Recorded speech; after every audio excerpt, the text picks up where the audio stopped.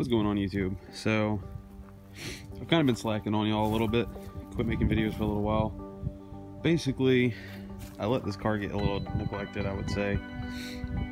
Um, restoring my headlights right now. I have a video about that.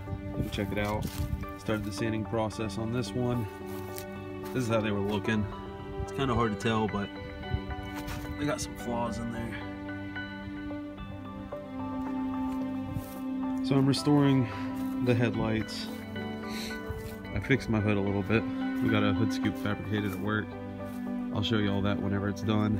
And then my wing had terrible paint fade, so that got pulled off, sanded down, and it's getting repainted.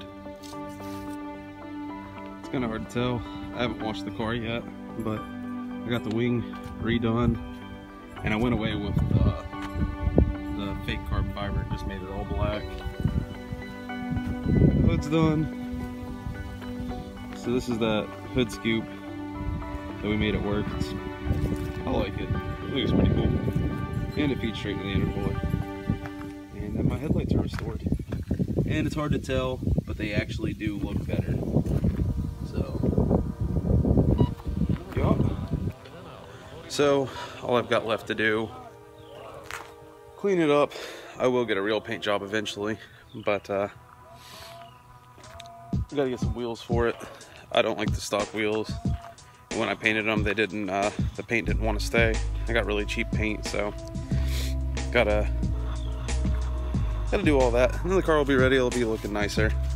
I wanna get a full carbon fiber wing too. I don't know if I want the duckbill one though. It looks like it's shorter, so I don't really know how I like it. Also was messing with the beater, so this is gonna be the car that I'm driving whenever the Mazda is getting uh, all of its fancy stuff done. I have to have the engine worked on. That's why I haven't done anything performance related. But so I was trying to restore these headlights a little bit.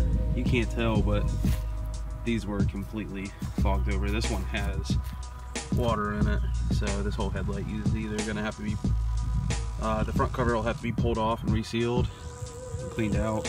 But I'll probably just replace the headlight because this Escort really doesn't cost anything. So that's the beater car that I bought. Um, my wife's been driving it, but she's actually going to be getting an SUV probably in the next week or so. And then, uh, yeah, so I won't have to put so many daily miles on the Mazda.